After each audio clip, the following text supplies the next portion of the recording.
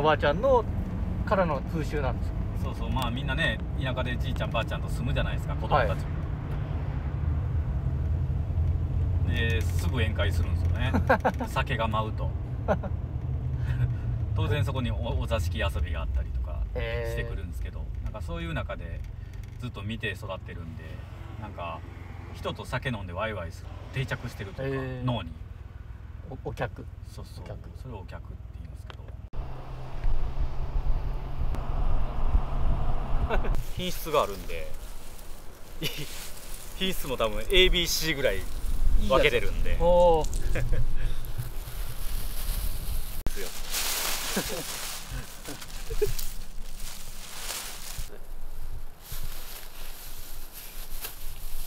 日ぐらい晴れが続かないと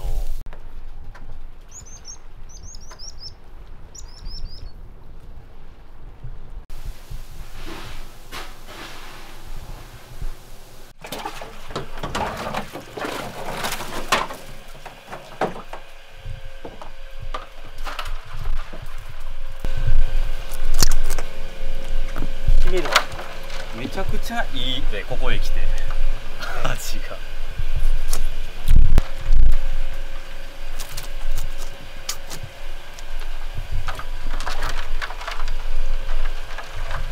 尺味ばっかり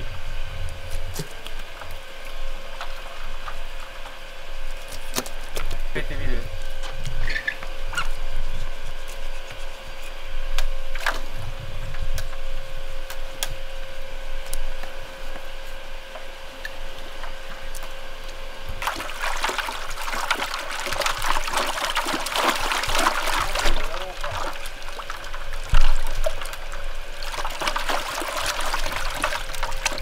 気を抜いてみるそうですね軽くこう体内の血を落として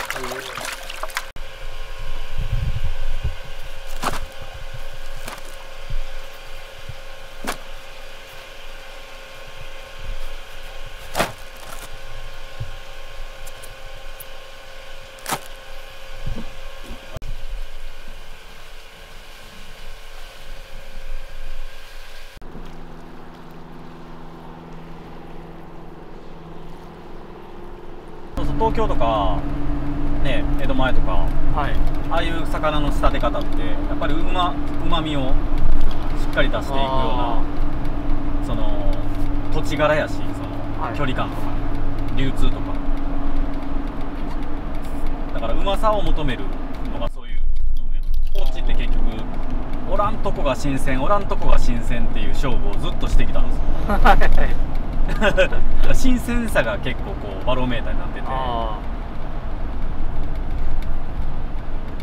だからより新鮮なものを常々みんなが思い追い求めてるんでやっぱりそっちの方向行ってしまうんですよね。料理人によって、はい。あのすごいこうグーッと入っていく料理人とかはやっぱり新鮮さ勝勝負というよりはやっぱうまさをどうやってあ出すか。あを考えたりやってますけどカツオに関しては地元の人めちゃくちゃ食べるんで、あ食べるんですか？はい、本物だ。だからカツオのたたき頼むからって県外の人とは全く限らなくて、え全然地元の人食べるんで。だから本当に消費量が多いんですよ。けどもうどん年々取れなくなってるんでー、あやっぱ減ってるんですか？もう危機的危機的状況はもう10年前からやっ必ずあるっていうものではカツオだけじゃなくて魚ほぼそうやけどもはい、うそんな時代ではなくなってます現場は、現場は、はい、お客さんは？し市民のか頭はねまだそんなこと分かってないわか？らないですけど、うん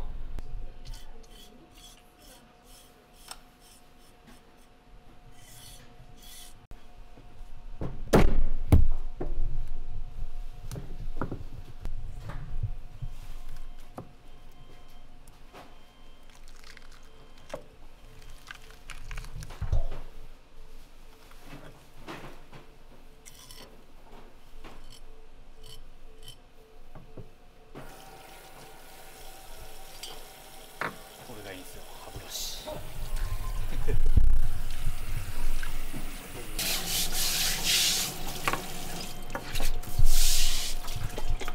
身の身の締まりがいいでしょ。まず。こうあー。サワラって緩くなるがなりがちなんで。はい。いいし油も程よくきれいに乗ってるんで美味しい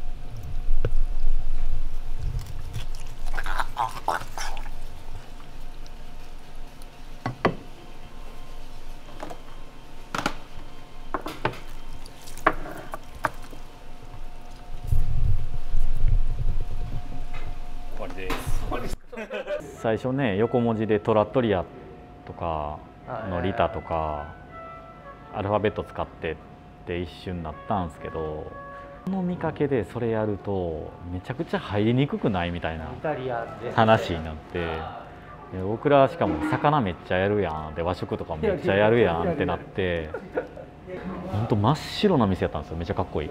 え打ちっぱなしの床も。そこにこの木を全部放り込んだんですよ。この和和室個室とかもこの木木の色を全部入れてあ和洋折衷になってるんですけど。だからどっちも出せますよね。和食もイタリアンも これで。でまあでも来やすいっていうので食堂をつけよう。漢字にしよう。でリタ食堂。食堂の走りでしたよ。ああ15年前看板名食堂の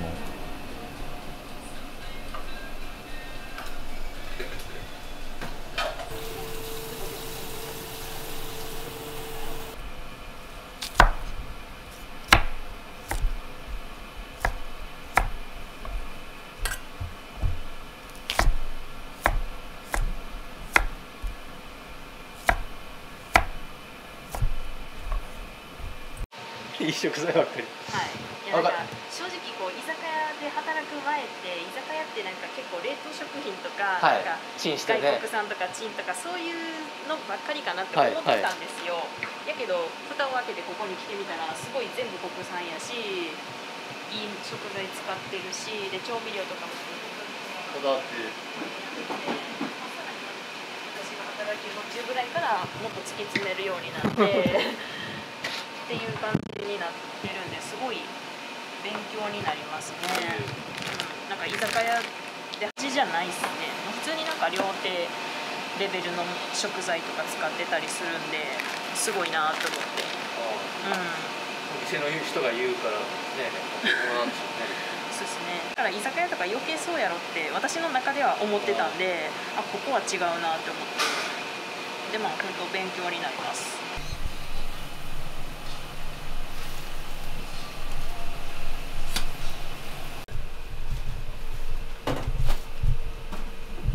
大きくなる膨らむあんまり膨らみやせんですこのチーズケーキは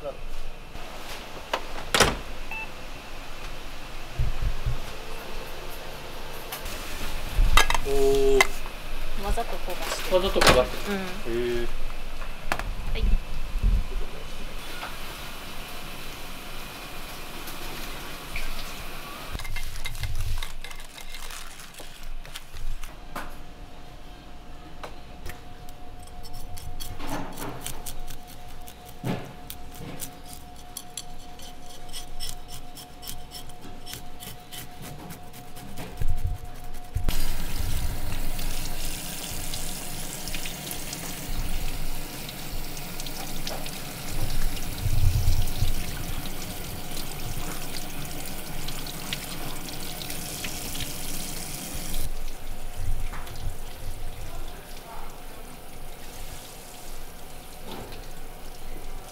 カツオカツここがハランボハランボオハランボあの一番左右取ろうと。あんまり油今日 1, 1枚か2枚って感じだけど。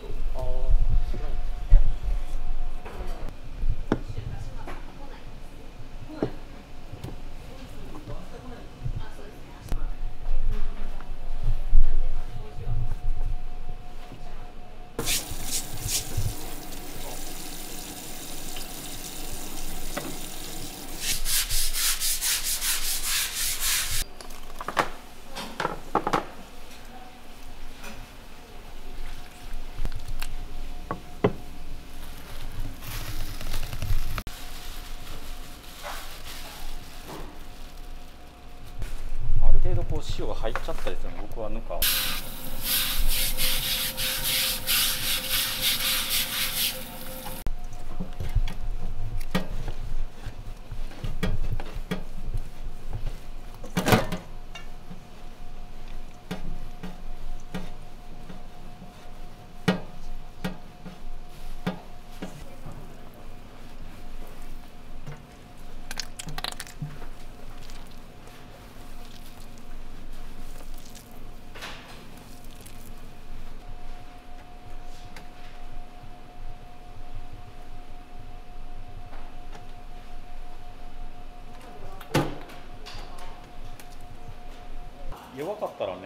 皮皮が破れるんです肌が。この作業で。大体落とす時に分かりますけどね。なんかこう元気さというか。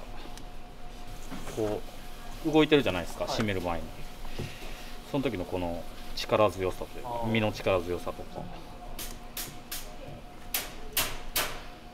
気がい。い息がいいですね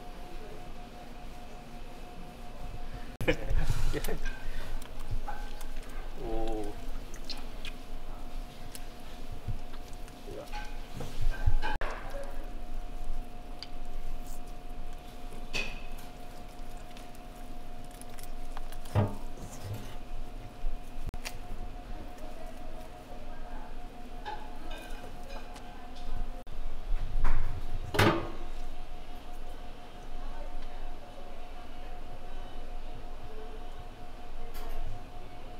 洗ってやうん。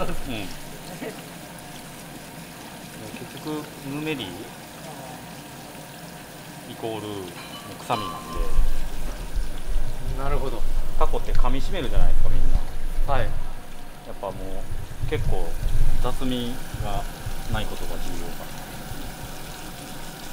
な本当に丁寧にやってるんですかねどうなんでしょうやってるんじゃないですか？初めて吸盤がだって結局足の裏みたいなもんですよ。言うたらうね。のひらとか。洗ってほしいですねじゃあ。そうそうそう。絶対美味しいでしょ。ここまでやったら。美味しいですねは食べる前にはこんなことがあるんですね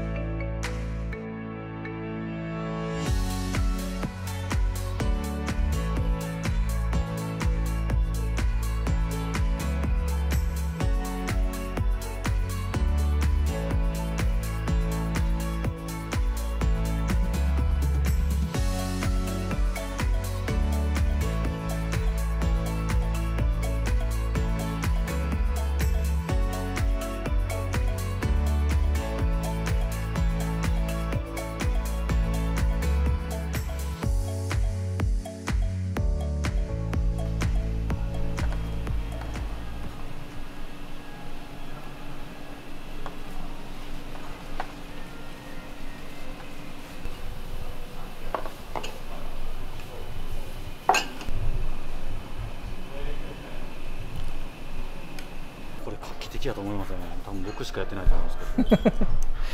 あの大葉も食べてもらえるような。切ってるんですか？そうそう。おー。1枚やったら食べんじゃないですか。食べない。取り分けるのもめんどくさい、はい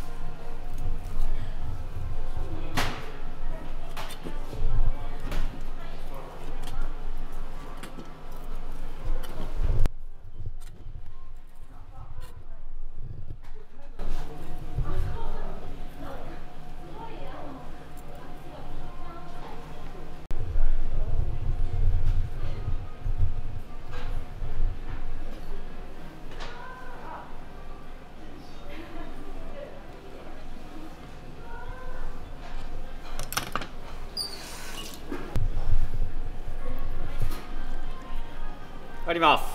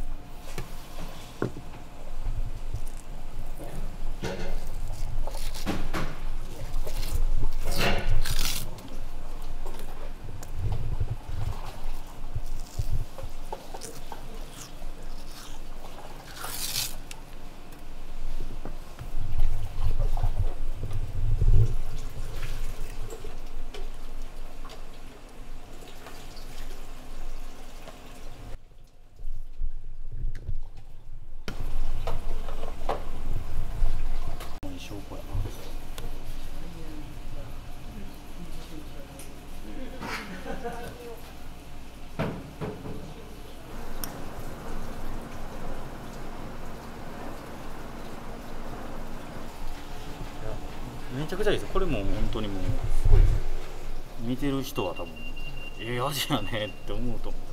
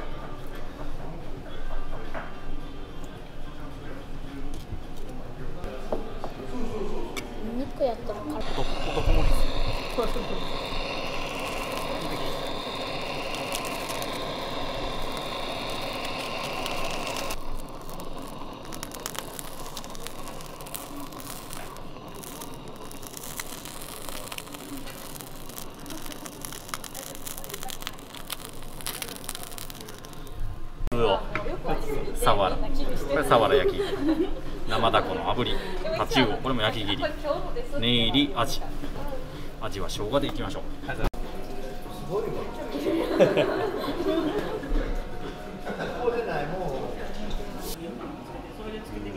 あいいね。いいねレモンコーヒ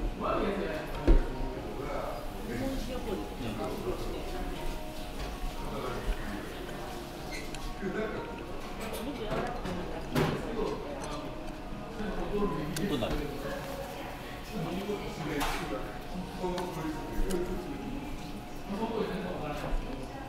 ない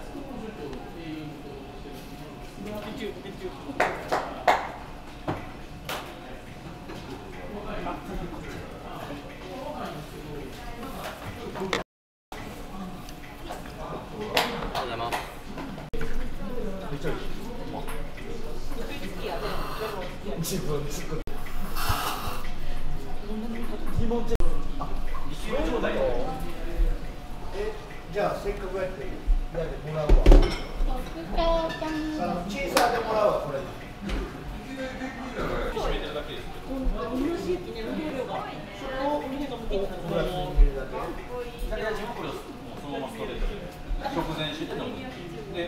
じ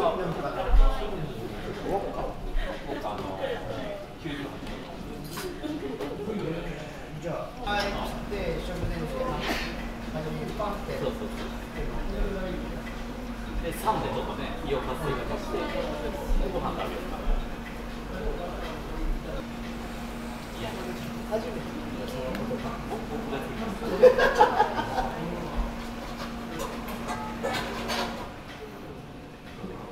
いや僕レモン系のお酒好きやねんで。で僕で本来来るんやろ本来もな。っと甘いです僕ちょっと控えてますこれそれでも甘いでんい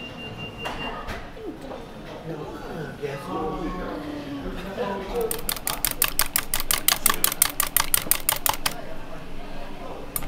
こんなお客さんが入ってきたとか見たりするんですか？余裕があれば余裕があれば見るよ。今男性2人だったんですけど食べそうだなとかそういうことですか？気にしますね。あ2軒目やったりしたら、まあ、一杯飲むだけっていうのもあるしそういう時はお通し出さんかったりとかもあるしあそういうこともある。あります。めちゃくちゃ酔っ払う人にはちょっと強めにやったりとか感じにくくなってるんでできる範囲ではやるように努力はしてますコロナの間にはい。もう全部変えたんですよ調味料うち。だから1.5倍から3倍しますってスーパーでもするんですけどもちろん業務用でも当然それぐらいするんです。よだだから原価率が跳ね上がるんです。そういうものに慣れたらその美味しさがめちゃくちゃわかる。で化学調味料のもう美味しいですよ言うても。